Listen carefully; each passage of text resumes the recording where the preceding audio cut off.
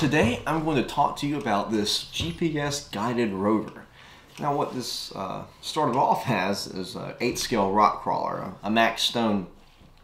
Pretty much what I've done is heavily modified this thing. I've added an aluminum plate that I've uh, cut out with a CNC router and attached to it I have a uh, autopilot system which is normally used for airplanes and quadricopters and whatnot but is also very capable to be used on a rover platform. And there is software and firmware that's specifically designed for this application.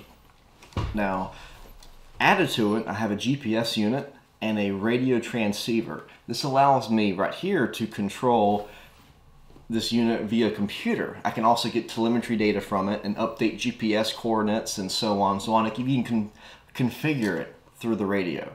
So at no point do you have to have this thing plugged up to a computer. It can configure everything via radio. What I also have is a GoPro camera and a 600 milliwatt to 5.8 gigahertz uh, uh, video transmitter, which I can transmit to my Fat Shark video goggles.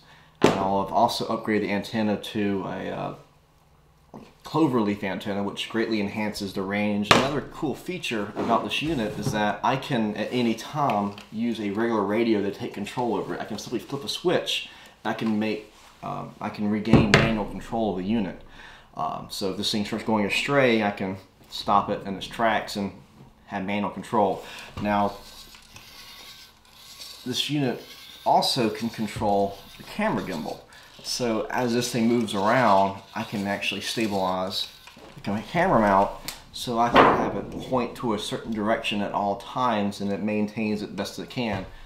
So I hope this gets you excited about the world of uh, GPS guided vehicles as well as first person view. So if you have any questions, feel free to contact me.